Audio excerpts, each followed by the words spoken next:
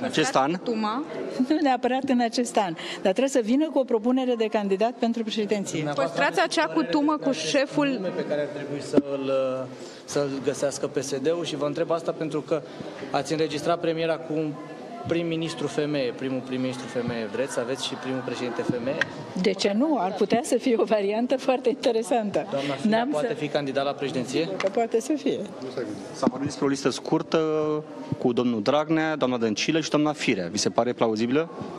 N-am discutat despre acest subiect și nu comentez lucrurile pe care nu le-am luat deloc în discuție.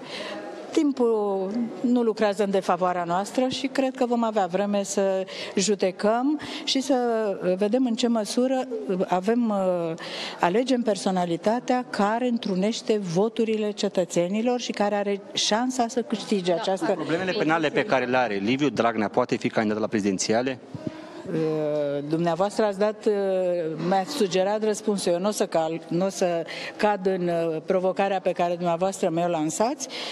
Cel care este, așa cum spuneți dumneavoastră, trebuie să rezulte dintr-o decizie a instanței. Eu cred că trebuie să ne păstrăm în limitele constituționale atunci când facem aprecieri. Dar condamnare avantajos există pentru- în cazul domnului Dragnea, doamna ministru. După cum știți, și acea condamnare este sub uh, semnul întrebării, întrucât n-a fost uh, motivarea semnată de uh, cei care au judecat și sigur că aici suntem.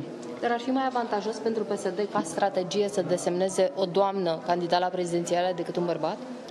Nu o să răspund nici provocării dumneavoastră, eu cred că trebuie să-l desemnăm pe cel care are, sau cea care are cele mai multe șanse în momentul în care l-am desemnat, desemnat candidat. Ca urmare, cred că trebuie să lucrăm științific, să avem niște evaluări și din uh, sondajele serioase pe care ar trebui să le facem pentru o asemenea desemnare, trebuie să stabilim persoana, personalitatea cu cele mai multe șanse. Despre ministrul justiției ai discutat? Despre ministrul justiției. Nu, n-am discutat nici acum, nici în CEX, nici despre raport, nici despre ce face domnia